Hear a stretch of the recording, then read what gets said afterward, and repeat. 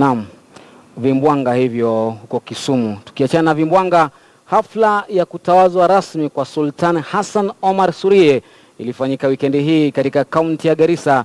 Viongozi kutoka maeneo tofauti tofauti walihudhuria sherehe hiyo ya, ya kiongozi wa jamii ya Samawatal, mojawapo ya koo kubwa katika kabila la Ogaden. Hamza Yusuf anakupa uhondo kamili.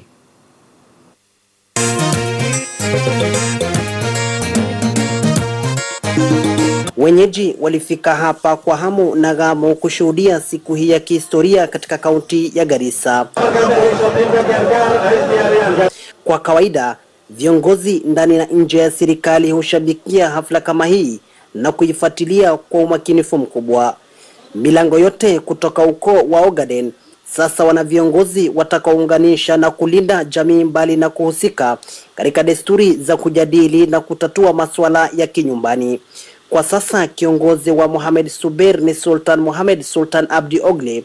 aulian watakuwa chini ya Sultan Hamud Sultan Mohamed Warfa, Abdul Wak wakitawaliwa na Sultan Deko Sultan Maalim Sambul na Abdalla wakipata kiongozi mpya ambaye ni Sultan Hassan Sultan Omar Shurie.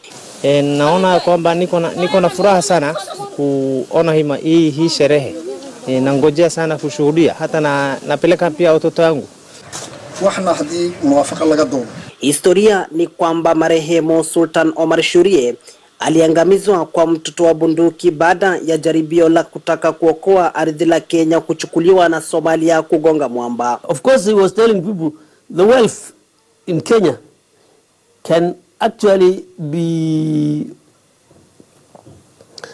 benefit us more than what is in Somalia. And he was very right. You can imagine if we were, if we were, if, if secession succeeded, we would have been refugees today, like they are. Imepita zaidi ya miaka hamsini sasa tangu mzee Omar Shurie kuuawa. Kinachowapa uchungu jamaa zake ni kutoorodheshwa mzee huyo kuwa mojawapo ya mashujaa humu nchini. I have raised that issue, and up to now I have no answer. But these are some of the things that we are going to raise with the highest level possible.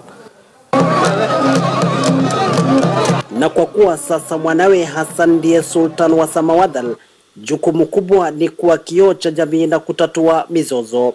Kama wanavyodadisi wachambuzi wa masuala haya ni kwamba iwapo moja atakeuka amri ya sultan, basi atapata laana ya wazee wa kale na huenda ikamdhuru maishani. Kinachosubiriwa sasa ni iwapo sultan aliyetawazwa hii leo kuweza kuleta mabadiliko katika jamii ya Samawadhal na Ogaden kwa jumla. Hamza Yusuf, KTN News, Garissa.